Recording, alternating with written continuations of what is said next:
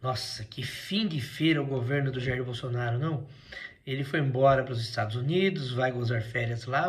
Tá dando a impressão que tá fazendo de birra para não passar faixa pro Lula, que tá fugindo, indo embora.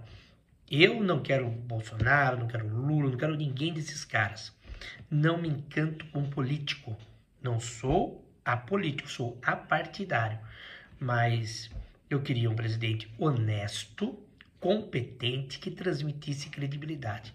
Não encontrei nenhum e nenhum desses senhores me representa. Mas dá a impressão que ele abandonou tudo e está indo embora. Fico pensando os caras que estão em frente ao quartel, achando que o Bolsonaro vai fazer uma revolução aí. É, não vai, claro que vai, mas tem gente que acha.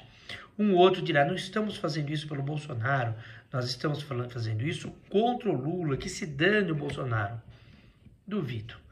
Todos são eleitores do Jair Bolsonaro ali. Todos gostariam dele na presidência. Eu não gostaria de nenhum deles. Vida que segue e pobre Brasil. Tenho medo do futuro, assim como estava com medo da atual situação. Até mais.